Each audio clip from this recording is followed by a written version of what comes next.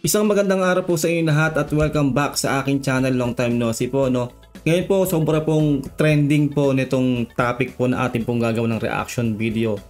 Ito po ay tungkol po sa LTO, yung kanilang panibagong panukala na anti-poor na masasabi po talaga natin. Marami po tayong maapektuhan po dito dahil majority po sa atin, majority ng Pilipino po ay nakamotor no o naka sasakyan na alam nyo na kapag motor ay majority po talaga mahihirap no? Tayo po ay apektado rito dahil ako po may motor din po ako no?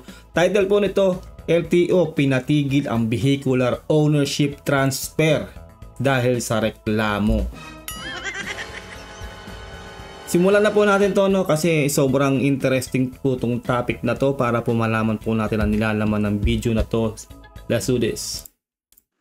seller ng mga sasakyan to inform LTO within a certain period of time. I think five days, was it five days? And failure to do so, may fine at 20,000 pesos ata. Grabe no? 20,000 fine. Ganun po no yung ano vehicular ownership transfer. So pag hindi ka pa nakapag-transfer, lalo po yung mga matatagal na po no na hindi po napatransfer ng ano ownership o ng pangalan no yung kanilang mga binentang motor o binentang sasakyan ay mapapain po kayo o mamumulta kayo o tayo ng 20,000 pesos. Tumataginting na 20,000 pesos no. Lalo po tayo mga may mga motor no. Anti-poor po talaga yung ginagawa po nila na. Tayo po ang maapektuhan dito. Alam niyo naman po no, na tayo pong mga nangamotor ay mahihirap, no? Hindi man po sobrang hirap, ay yun po talaga yung unang-unang vehicle o unang-unang sasakyan na kaya po nating bilhin, yung motor. Kasi mas mura po ang motor kaysa po sa mga kotse o sa mga van kung ano pa man yan. No, ganun po 'yan eh. Kaya po gayon po kung ganun po ang mangyayari, kung inaibenta mo halimbawa ang iyong motor at ikaw pa rin ang nakapangalan doon sa motor na 'yon. No? Kahit naghano pa katagal 'yan, ikaw ay mamumultahan ng 20,000 pesos. Grabe po 'to, no? Kaya sobrang ano po 'to, apektado po talaga tayo lahat dito sa topic na 'to kaya pakinggan mo po natin si Senator Rapitul po. Medyo nabulabog ako doon kasi ako nakapagbenta rin ako ng mga sasakyan na. Yes. At hindi ko na impormahan yung LTO na naibenta ko ng sasakyan yun. Mhm. Kasi wala namang ganun patakaran noon. Tama. So paano to? Eh, sampung sasakyan ang nabenta ko ng panahon at lampas sa deadline. So 10 times 20, so may utang ako sa inyo ng 200,000. Di ba? Mismong si Senator Rapi Tulfo ay umaalma po dito po sa ano nila to sa memo na to ng LTO na 20k. Isipin niyo yun, di ba? Magkakaroon ka ng ganong kalaking multa. No, hindi po natin ma-pinpoint kung sino po talaga ang nagpanukala po nito. Marami po nagsasabi, senador daw po din, senador din daw po ang nagpanukala nito. Pero hindi po tayo magbabanggit ang pangalan dito dahil hindi po tayo sigurado. Mahirap na po, no? Kaya, pero kailangan po nating maintindihan to itong panukala po nila o memo po na to ng LTO kasi po lahat po ng tatamaan po dito ay tayo pong mga mahihirap na meron pong motor. Majority po talaga nakamotor sa Pilipinas at majority talaga ng botante ay nakamotor. Real talk. No, kaya pakinggan pa natin.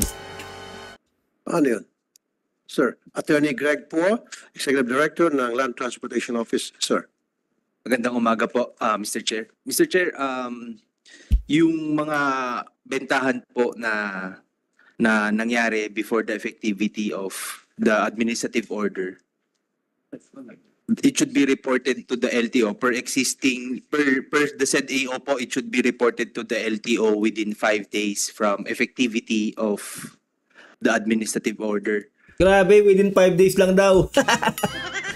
eh, paano na lang kasi, ito kasi yan, eh, no? hindi kasi nila basta pinag-isipang mabuti, di ba? Basta nagbagsak na lang sila ng ganyang memo. Paano po yung mga may-ari ng mga sasakyan na nagbenta ng sasakyan na nasa abroad, no? Paano sila makakapag ah, sabi sa LTO, ma, ano nila yung ganong concern nila kung nasa ibang bansa sila. O yung iba po, no?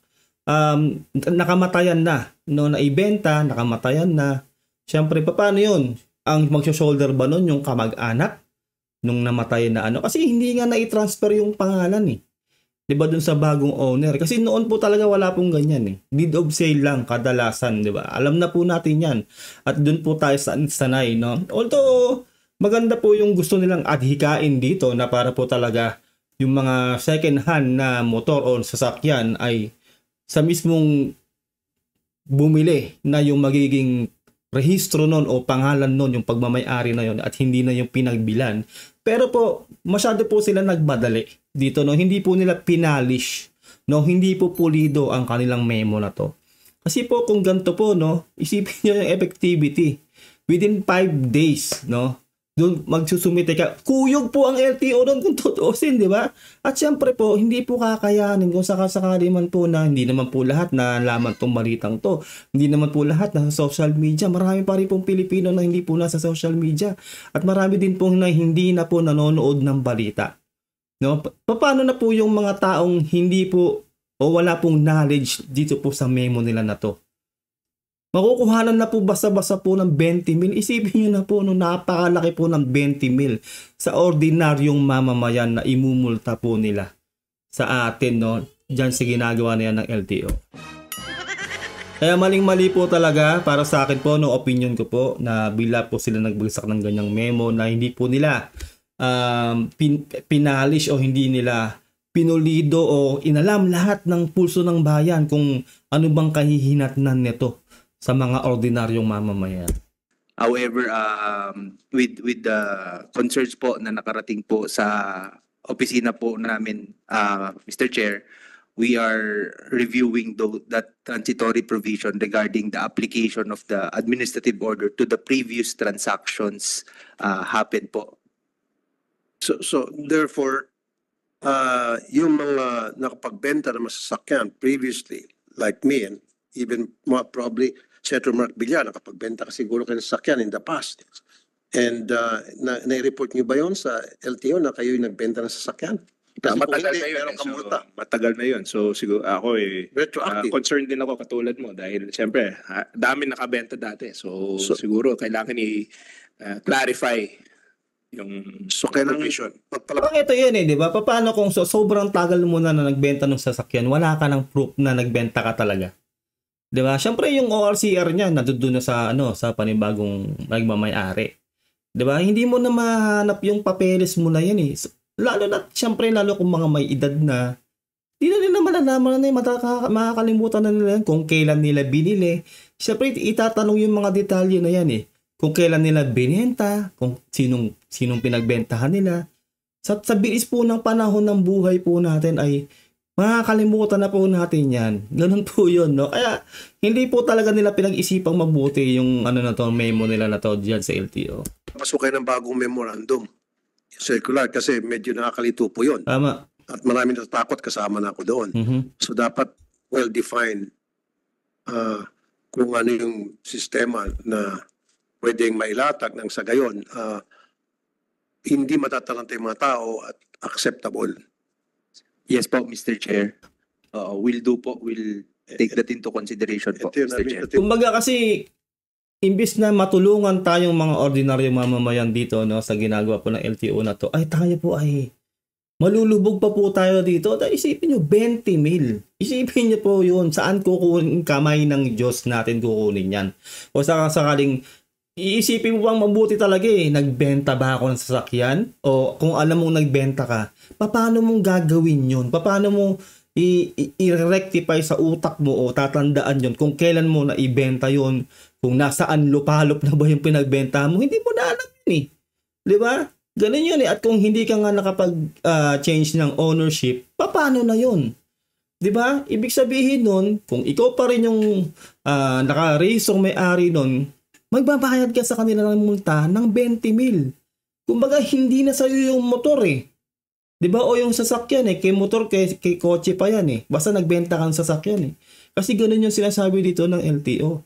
Kaya malaking pasanin po to sa ating mga ordinaryo mamamayan. Kahit nga po dito si Senator Rapi, 'di ba, umaalma siya. No, sinasabi niya nagbenta siya ng sampung sasakyan. So gan- ganun kalaki yung halagang imumulta sa kanya.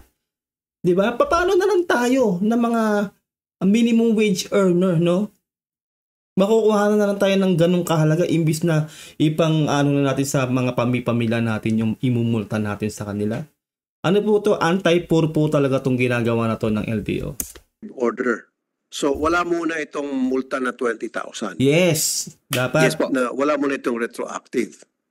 Tanggalin siguro itong salitang retroactive. Palakpakan po natin si Senator Tulfo. No? Ganito po dapat. To. Buti napansin din po niya to na mala, mala- marami pong lapses po tong memo na to ng LTO. Kasi po mararamdaman po talaga natin lahat yan eh. Majority po sa atin, no, 90% or 80% po ng mga ordinaryong Pilipino o ang mga Pilipino po ay nakamotor.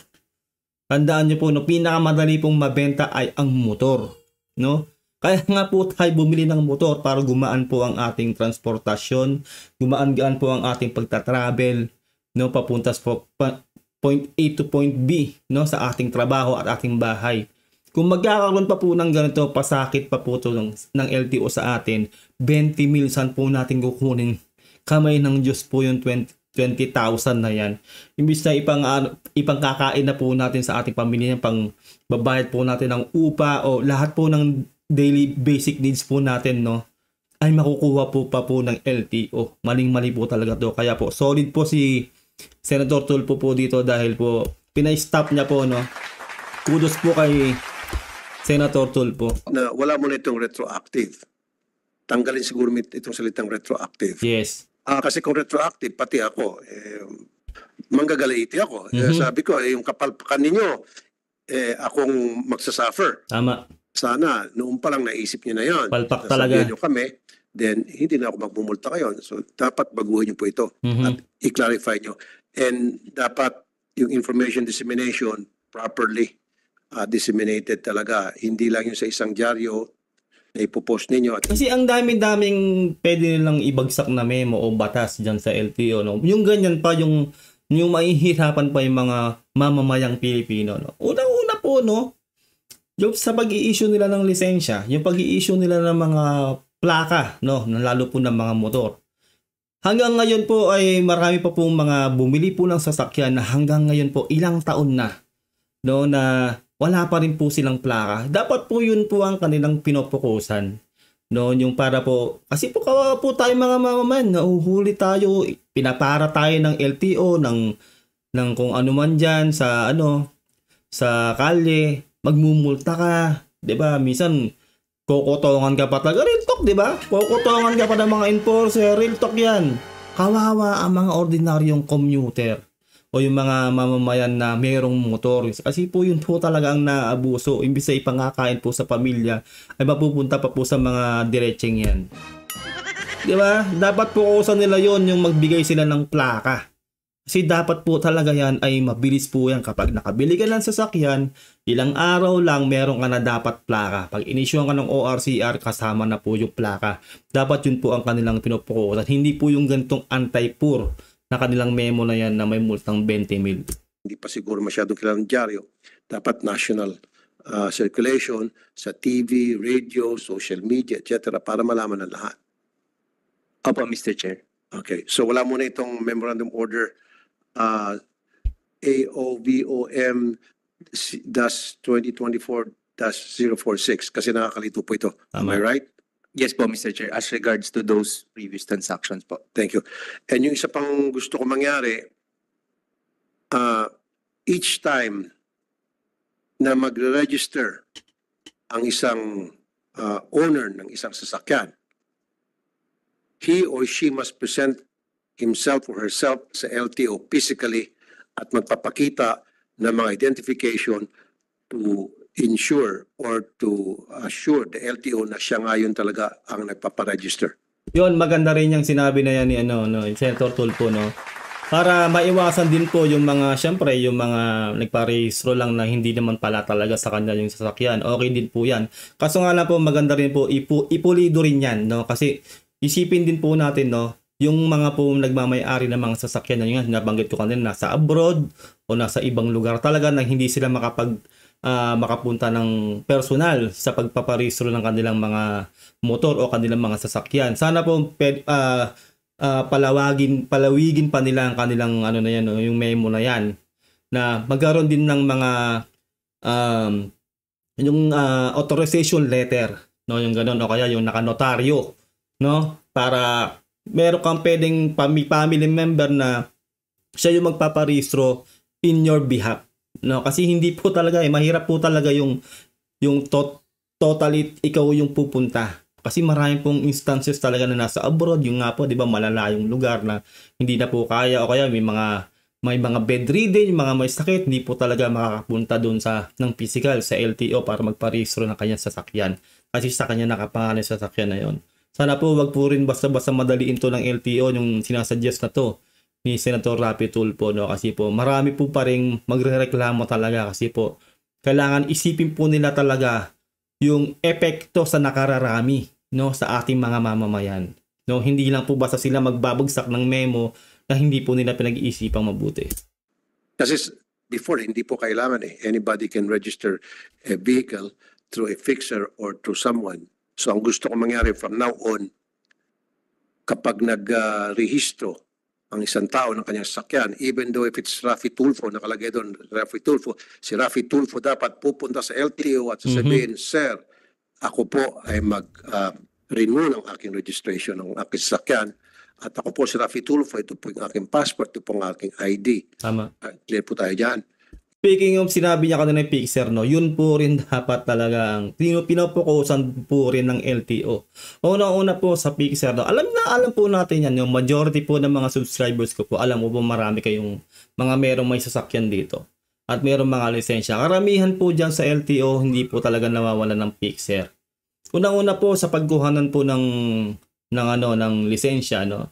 Yung iba po talaga ay dumadaan sa Pixar, hindi po talaga dum- dumadaan sa proper no na pag-apply para magkaroon ng lisensya. Kaya po yung karamihan po na nagkakaroon ng lisensya kapag dumaan sa Pixar ay wala pong alam sa kalye. No?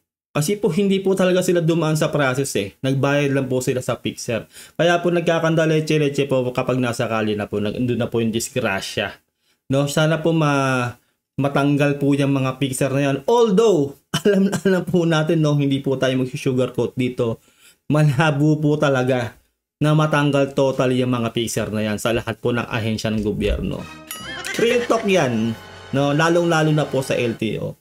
Kahit sino pa po sigurong presidente, gagawa at gagawa yung LTO at iba pa pong sangay ng gobyerno natin nang meron pa rin mga Pixar na yan. Kasi alam po natin na kumikita po sila dyan pero maling-mali po kasi talaga kung tayo po ay dadaan sa Pixar. Kasi po, hindi po tayo um, magkakaroon ng knowledge no ng totoong knowledge sa kalye.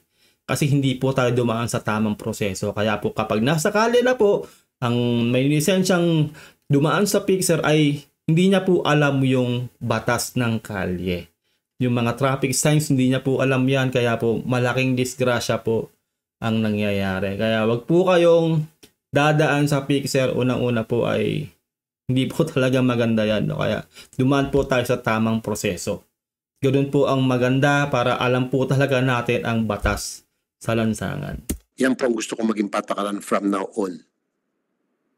We'll consider, yes, Mr. Chair, uh, we'll study po that uh, policy Mhm. and then we'll issue the necessary guidelines. At wala na po yung open deed of sale. Ano po? Mhm. Yes, po, Mr. Chair, definitely po. Dun sa AO po yan po yung iniiwasan po natin dyan, yung mga open deed of sale. Kaya nga briefly para sa kalaman no lahat dito, Senator Mark, marami na kasi ako na-enkwentro sa aking programa na nagkaroon ng problema isang sasakyan, naka-hit and run o nakabangga at uh, may ginawang kalokohan yung sasakyan na yon and then nakuha yung plate number, pupuntahan namin, pupunta ng mga pulis, yung address na nakaregister sa LTO, eh sasabihin nung uh, tao doon sa bahay na yon, eh hin- wala dito, that wrong address. Or kuminsan, ano ko, nabenta ko na yan. Mhm. 10 years ago pa. And yet, yung registration updated. So, ibig sabihin, hindi na-register nung bagong buyer, open deed of sale lamang. So, nagkakaproblema kapag uh, merong nagawa yung sasakyan, no, may bulyaso. Nahirapan yung ating mga otoridad na i-trace. So, yun ang gusto ko dapat from now on with ID and yung person na yun na mag-renew ng lisensya, ay, ng, ng uh, registration ng kanyang sakyan, dapat siya mismo nandoon. dapat lahat ng iminumungkahi po na to ni Sir Senator Rapi Tulfo at po yung ibibigay o ibabagsak ng LTOng memo no lahat po yan pag-iisipan po nilang maigi. Kailangan po isipin nila yung negative side at yung positive side. Timbangin po nila yan. Hindi po basta-basta po sila magbabagsak ng memo na hindi po nila inaalam yung pulso ng masa no madali po kasi magsabi ng ganto ganyan ganyan pero ang maaapektuhan po kasi ay yung masa. Tayo, tayo mga mamamayan. Lalo po tayo mga ordinaryong mamamayan. Kaya kailangan po bago po sila magbagsak ng ganyan mga memo, ay mapag-isipan po nilang mabuti talaga. Dapat ilagay nila yung sapatos nila sa sapatos no, ng mga ordinaryong mamamayan natin. Na kung anong mararamdaman natin, kung anong magiging apekto sa atin nun. Nung kanilang ila- ibabagsak na memo na yan. Tama po with IDs. Okay. Up. All right. Um, oh, yung distributions ng mga plaka po, Hmm, yan. Yan na. LTO. Yung concerns ng marami, yung uh, delayed distributions ng mga plaka. Kumusta naman po? Updated na po ba tayo? Nasaan na po tayo ngayon sa pagdating po sa proper distributions ng mga plates, plate numbers? Opo, Mr. Chair, Ah. um, updated po tayo sa mga plaka, Mr. Chair. It, Updated daw. Malaking kalokohan yan. No? Ako po, saksing buhay. Ako ha, meron po akong motor. No? Binili ko po yung motor ko, Mio Soul I. 2016 ko pa siya binili. No? Anong petsa na po ngayon? 2024 na. Hanggang ngayon po ay wala pa pong plaka o wala pa pong binibigay na plaka sa aking binili na motor noong 2016 pa. Comment down below no kung ikaw meron ka ring motor na matagal mo nang binili at hanggang ngayon ay wala ka pang plakang nahahawakan o wala pa rin ini-issue sa yung plaka sa motor mo na yan. Kaya tayo po ay nahihirapan talaga no sa kalye. No, na- nakikipagpatintero tayo, lagi po tayo nasisita ng mga traffic enforcer at mismong sila pong LTO rin no. Sila po ang may kasalanan nun eh. Sila hindi nag-issue ng mga plaka na yan tapos may gana pa silang manghuli. Dahil wala nga tayong plaka. Hindi po natin kasalanan yan. Sinabi na po yan ni Congressman Bosita no, na hindi po natin kasalanan yun no na wala tayong plaka. Ang LTO ang may kasalanan nun. No, kaya pag hinuli po tayo, wag po tayo magpapatiket. Kasi nga po lalo kung meron kompleto yung papel natin, meron tayong ORCR, may papakita tayo, naparehistro pa rin natin yung motor natin na kahit na walang plaka. Hindi po natin kasalanan yung kung wala tayong plaka. Kaya wag po tayong magpapatiket o magpapahuli. No, wag po tayong tatakbo, no? Hindi po yung sinabing hindi magpapahuli ay tatakbuhan nyo po yung poster. Hindi po yun. Ibig sabihin lang po nun, no? Ibigay natin po yung rason na hindi po natin kasalanan yun dahil kumpleto papel natin eh. Meron kang lisensya, valid ang lisensya mo, o may ORCR ka, nakarehistro yung motor kahit na wala siyang plaka. Hindi po natin kasalanan kung wala po tayong nakadikit na plaka sa ating mga sasakyan o particularly sa motor. No, sinabi na po yan ni Congressman Busita na alam niyo na po, po naman po si Congressman Busita no talaga pong ano yan maka maka riders yan no doon po siya nanggaling talaga yun po yung advokasya niya kaya nga po congressman na siya ngayon siya po ang nagtatanggol sa atin noon sa mga kagulong no mga mga nakamotor talaga kasi po yung mga nakamotor po talaga ang napag-iinitan po ng mga enforcer at kung lahat-lahat na po dyan sa kalye. Real talk po yan, hindi po natin kasalanan kung wala pa rin pong plaka ang ating mga motor. It's just that pag napunta po sa dealer, dun po nagiging bottleneck sa mga dealer. Mhm. Marami na po kaming, marami na pong pumunta po sa amin, Mr. Chair, na naghahanap po ng plaka. At pag hinanap po namin ng kanilang, ah, pag tinignan po namin ng aming records, makikita po na, na ibigay na po ito sa dealer months ago. So, in that, in that Months ago yung sinasabi niya, eh samantalang yung sa akin nga 2016, 2016, 17, 18, 19, 20, 21, 22, 23, 24, 8 years na. No? Pabalik-balik kami sa dealer, wala pa rin daw pong ini-issue ang LTOng plaka. Real talk po yan, ako po ha, saksing buhay na ako po, I- ano ko po to experience ko. Hanggang ngayon po, wala pa ring plaka yung aking biniling motor noong 2016 pa. case, Mr. Chair, um, sinushokos po namin yung dealer at pinag-explain po namin Mhm. bakit po hindi na-distribute yung mga plaka sa mga tao po. Nagpapasahan sila, no? pinapasa nila sa dealer yung blame. Which is, sila talaga ang may kasalanan dyan, yung LTO. Real talk po yung opinion ko po yun. No? Kasi po, ako po yung naka- nakaranas na rin po niyan. Eh. Mag-comment ka kung ikaw isa ka rin sa mga bumili ng motor na sobrang tagal na na hanggang ngayon, wala pa rin yung plaka ng motor mo. Kasi po, hindi po magsisinungaling ang taong bayan. Eh. Tayo ang nakaka-experience. Tayo ang first hand na nakaka-experience niyan. Hindi po sila. No, kaya eh, pinapasa po nila yung blame sa dealer o kung kanino man. No, kasi hindi po kasi nila nararanasan nararanasan nating mga ordinaryong mamamayan eh.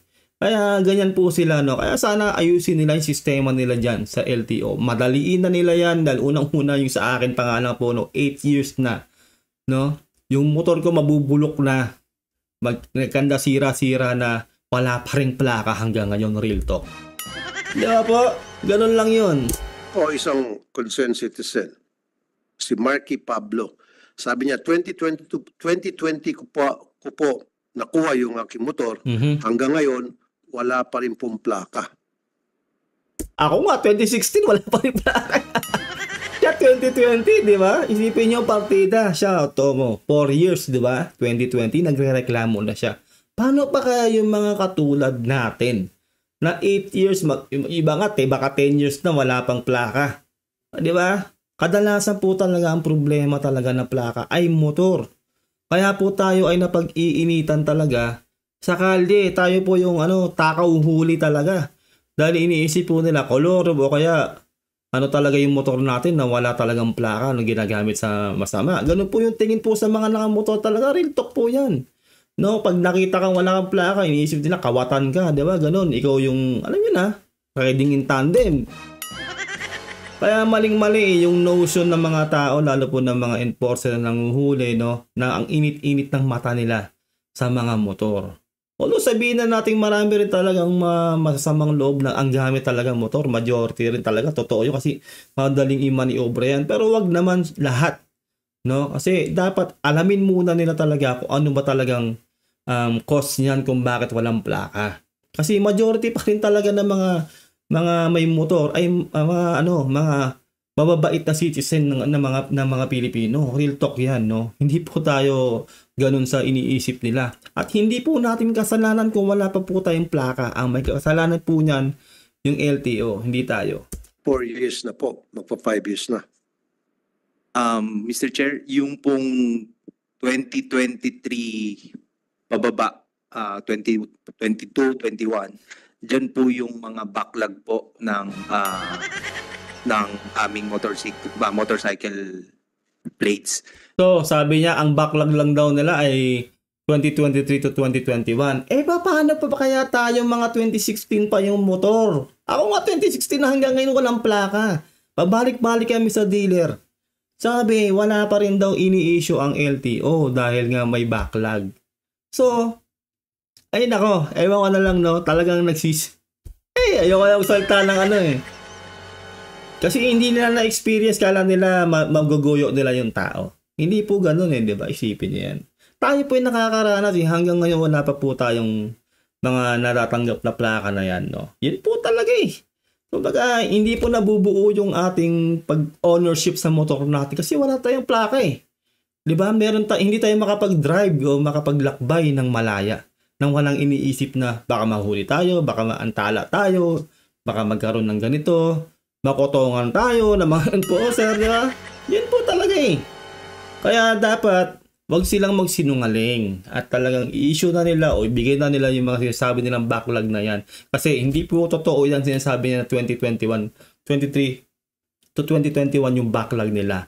Marami pa pong backlog sila ma- ba- malamang yan 2016 o baka 2015 pababa pa yan. Marami pa pong mga motor na walang plaka. ng aming motorcycle, ba, motorcycle plates because of those problems encountered by LTO po dati. So in order to address that po Mr. Chair, yung production po namin, um, bulk of our production are, is to address the backlog. Okay. Tapos while we are addressing the current current demand, bala I need to double check Mr. Chair kung yung 2020 mo- motorcycles ah, na nabenta po ng 2020 ay meron na pong Sir, plaka. gawa nyo ng paraan Tama. by all means at all cost na yung mga 2020 pa na nabili ng mga motorsiklo, gusto ko po na by the end of this year, may bigay na po yung mga plaka nila dahil sila po ay prone sa paghuhuli Tama. ng mga MMDA traffic enforcer or Sir Rapi, wag po sana hanggang 2020 lang, no? Pati po yung mga 2016 pababa, mga 2014, 2013. Basta lahat po, no, ng mga wala pang plaka ma-priority. Dapat nga mas inuuna yung mga matatagal na, no, na wala pa rin plaka hanggang ngayon. Ah, As in lahat, ma-priority. Kasi ganun po dapat. Pag na-issue ka ng ORCR, dapat talaga may plaka na yan. Hindi po natin alam sa atin lang po sa Pilipinas po nagkakaroon po ng problema sa ganyan. Sa ibang bansa po ay hindi po ganyan. other traffic enforcement group. Ulihin sila, harasin sila, paparahin sila sa mga checkpoint. Tama. Kawawa sila. Yes. Hindi nila kasalanan yun dahil um, nabayaran nila yung motor, Yes. naibigyan na lahat ng mga requirements doon sa dealer, sa LTO, and yet ang LTO ang may kasalanan at sila ngay nagsasuffer. So sir, Palakpakan natin Sir, Sir Rapi Tulfo, no? Ganyan dapat, no? Kaya para sa akin, no, ma- ma- magandang ano rin talaga na ah, nagisa dito o na, na fokusan dito ni Senator Rapi Tulfo tong issue na to ng LTO, no? Kasi po, majority, majority po talaga ng mga may-ari ng motor dito ay masa. Real talk po yan kasi po yan po yung pinakamadali nating ma-acquire na sasakyan, no? Kasi kadalasan po sa atin, karamihan sa atin ay hindi po talagang kayang bumili ng kotse. No, kaya motor po ang means ng ating transportasyon, mas marami po talaga ang naka- nakamotor. Kaya dapat po mapokusan po talaga to dahil yun nga po tayo po ay nahihirapan, nahaharas, nagagawan po tayo ng hindi maganda dyan sa kalye. Naabuso po talaga tayo, nakukutungan tayo ng mga mapang-abusong enforcer at kung ano-ano pa. Hindi naman po lahat ng enforcer, no? Para sinasabi lang po natin totoong nangyayari talaga. Pero dapat po mapokusan po to at talaga po mabigay na po yung ating mga plaka. may pangako niyo ba sa akin na ito mga 2020 pa, 2021 na mga nakabili ng motorsiklo, dapat maibigay na before the end of this year yung kanilang mga plaka. Um, yes, Mr. Chair, actually po ang commitment po namin, ang commitment po sa presidente Talaga lang ah. Maniwala, tong bago matapos ng taon, maibibigay nyo? Weh, di nga. Nako, to see is to believe, gawin nyo na lang. Huwag din puro ngak-ngak, no? Kasi yan ang hirap eh. Kumbaga, syempre, para lang may masagot siguro siya kay Senator Rapi, di ba? Kaya ganun yung sinasabi niya. Pero, dapat gawin na lang po talaga nila dahil nahihirapan na po tayo lahat dito sa dahil po dyan sa plaka. actually po ang commitment po namin, ang commitment po sa presidente is uh, to finish the all the backlogs motorcycle or motor vehicle backlogs plates by June 2025. But Mm. June we will Okay. consider po itong 2020 na motorcycles po, Mr. Chair. Hindi ako naniniwala dyan na yung sa mga motorcycle o sa mga motor ay maibibigay nila lahat ng plaka as in lahat. Sipin nyo no, magno-November na po. Sinasabi po dito ni Senator Rapi na bago matapos ang taon ay maibigay na. So nangangako dito yung spokesperson na to, si attorney, ah, kung siya man to, no, si Greg Bua Jr. na yung mga sa motor po ay maibibigay na po lahat itong bago matapos ang taon. Ako po ay hindi po ako naniniwala dyan. Sa dami po ng mga nakamotor ay kasi po maganda po yung action na lang hindi na lang po sinasabi, di ba? Kaya to see is to believe. So, June 20. Kasi ah, alam niyo po, Attorney Greg, ano, ah, kung napapansin mo yung pila-pila ng mga motor, kahit sa mga syudad, Tama. sa mga probinsya, pinipipi, ah, pumipila yan sa isang checkpoint at nandun yung mga traffic enforcer kung sa mga police Mhm. na hinahanapan ng rehistro Tama. yung mga motorcycle. Dahil wala silang plaka o yung nakalagay doon sa motorcycle nila, yung karton lang, Mhm. di ba? So para, na, naabala na nga sila at pagkatapos hingin pa ng pera. Tama. At yun ay dahil kasalanan ng LTO. Dapat kung merong mga, dapat kikilan yung mga traffic enforcement sa salbahe, dapat mangikil sila sa LTO. Huwag doon sa mga inosenteng motorista. Tama, tama yung sinasabi dito ni Sen- Senator Rapi. Kasi nga 'di ba tayo pag bumili tayo ng motor lahat na yun, full paid na yun, o kung sakaling sabihin natin hinuhulugan 'yan. 'Di ba? Nandun yung commitment mo para tapusin yung hulog na 'yan.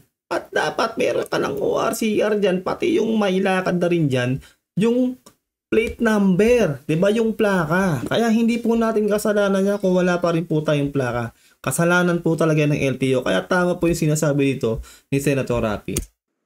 Sir? So tama yung sinabi niyo po, commitment niyo kay Presidente by June 2025.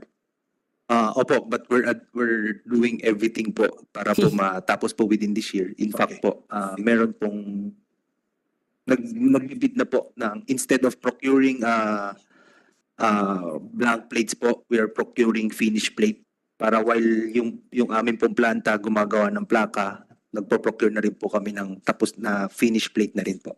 Okay, sige. Ah, yung pong mga plastic ah, driver's license cards, Sipin niya pati, pati nga yung lisensya, di ba karamihan, di ba nakapapel lang yung lisensya. Isipin niyo, di ba grabe yung pondo dyan sa LTO. Bakit kinakapos sila ng mga ganun? Ay nako, mahirap na din talaga magsalita pero hanggat may kurap, may mahirap. Tandaan nyo yan. Kapag may kurap, tayo pong mga ordinary mamamayan ang maghihirap dyan. Tayo po ang mat- matinding maapektuhan sa ginagawa po nila. Isipin nyo, no, pati po yung mga mga plastic ano ng lisensya ng iba talaga. Buti ako hindi ko inabot yan, nag-renew ako ng lisensya ko, meron siya. No, pero yung iba talaga hanggang ngayon papel pa din. No. Print, naka-print lang yung papel ng lisensya nila. 'Di ba? Ginagawa nila, pinapalaminate nila yung papel na yon para talaga hindi mapunit. Kasi hanggang ngayon po talaga yung iba ay wala po talagang totally yung lisensyang plastic. marami pa rin pong mga nagreklamo na wala pa rin na po yun ang binibigay sa kanila, papel, papel lang. Yes. Ah, Mr. Chair, we have sufficient ah, driver's license cards po. Meron lang po tayo yung mga hindi pa po bumabalik sa LTO para po ipaprint yung kanilang um, paper's license. So ang sinisisi naman na naman niya rito din yung mga tao, no? Hindi daw bumabalik sa LTO. Ay, yung mga tao pa talaga yung sinisisi nila, no? Isipin nyo, kapag ikaw ay nag, ano ng lisensya, dapat kumpleto na eh. Bakit kinakapos sila ng ganun? Tapos ibabato ang sisi sa tao dahil hindi ka bumalik para magpa, para kunin mo yung lisensya mo na naka-plastic na. Para hindi, ay nako talaga. Medyo nakakairita na talaga, no? So that's why may information dissemination po kami. We are encouraging those personnel na meron na person to na meron uh, papers li- paper license to go to the LTO kasi ready na po yung mga cards po. Talaga ba? May- we have sufficient cards for printing po, Mr. Chair. Okay. Sige, ah, isa na lamang po. Um, mahabang proseso ng paglipat ng ownership. Mahal masyado ang mga pagproseso ng papela sa LTO galing sa isang concerned citizen. Mahaba ba ang proseso po? Paglipat ng ownership? Pag ah, bigay ng abiso sa LTO na yung kanilang sasakyan inibenta nila to someone? Hindi naman po, Mr. Chair. Mhm. I- It's the same po. Uh, we're compliant po dun sa ARTA requirement and compliant sa ease of doing business. Isipin niyo no, yung nagsabi yung concerned citizen na yon. Hindi naman niya sasabihin yun kung hindi niya alam eh. Kung hindi niya na-experience. Ibig sabihin po nun, yung concerned citizen na yan na binasa ni Sir Rapi Tulpo, experience niya yun, alam niya yung proseso na mahirap talaga na mag-change ownership. Tapos sinasabi na naman ito ni attorney ay talagang hindi daw po mahirap. 'Di ba? Syempre dapat kasi bago sila magbabagsak ng memo talaga, alamin nila yung pulso ng bayan. 'Di ba? Yung mga totoong maaapektuhan. Yun ang hirap talaga dito eh. Ayun lang po no, ate po nagawa ng reaction video tong issue ng LTO. Yun nga no, LTO pinatigil ang vehicular ownership transfer dahil sa reklamo. Malaking kudos po kay Senator Rapi Tulfo dahil na na na niya tong issue na to dahil po tayo pong lahat no mga ordinaryong mamamayan ang apektado po dito unang-una po dun sa change ownership yung multa na 20,000 yung sa lisensya at doon po sa plaka na hanggang ngayon po ay hindi pa rin po nila ibibigay totally lahat at tayo po talaga ang nahihirapan na maglakbay no dahil po tayo po talaga mga nakamotor no ang na pag-iinitan sa kalye ng mga enforcer at kung sino-sino pa pong nanguhuli dyan. No, hindi po natin kasalanan na wala po tayong plaka. Kasalanan po yan ng LTO. Ayun lang po, no, sana nagustuhan nating reaction video. Huwag nyo katilimutan na mag-subscribe. Like this video kung nagustuhan nyo. Comment down below kung ano sa loobin mo. Kung isa ka rin ba sa hanggang ngayon ay wala pa rin plakang yung motor. Ingat po kayo lahat. God bless and peace out. Bye.